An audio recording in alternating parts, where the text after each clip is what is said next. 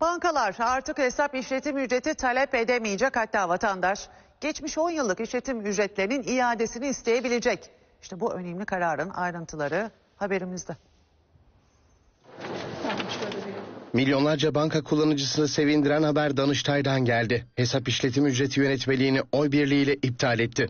Bundan sonra vatandaştan hesap işletim ücreti adı altında ücret alınamayacak.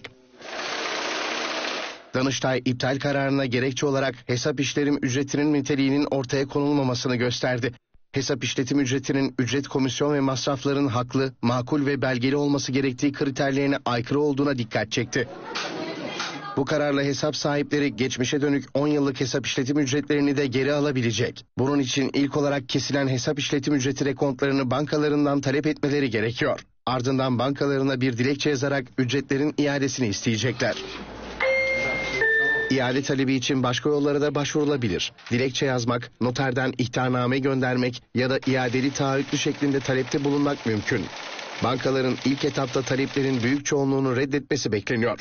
Red cevabı gelirse veya bir cevap gelmezse söz konusu dekontlarla hesap sahiplerinin yazılı talepte bulunması gerekecek.